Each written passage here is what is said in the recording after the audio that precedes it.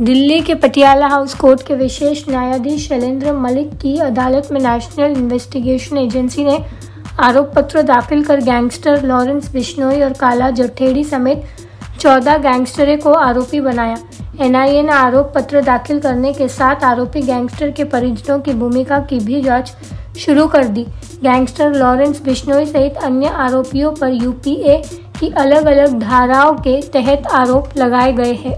दिल्ली के Patiala house court के विशेष न्यायाधीश शैलेंद्र मलिक की अदालत में नेशनल इन्वेस्टिगेशन एजेंसी ने आरोप पत्र दाखिल कर गैंगस्टर लॉरेंस बिश्नोई और काला जठेड़ी समेत 14 गैंगस्टरों को आरोपी बनाया।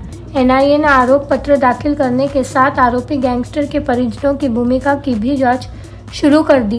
गैंगस्टर लॉरेंस बिश्नोई सहित अन्य आरोपियों पर यूपीए की अलग अलग धाराओं के तहत आरोप लगाए गए हैं। दिल्ली के पटियाला हाउस कोर्ट के विशेष न्यायाधीश शैलेंद्र मलिक की अदालत में नेशनल इन्वेस्टिगेशन एजेंसी ने आरोप पत्र दाखिल कर गैंगस्टर लॉरेंस बिश्नोई और काला जठेड़ी समेत 14 गैंगस्टरों को आरोपी बनाया।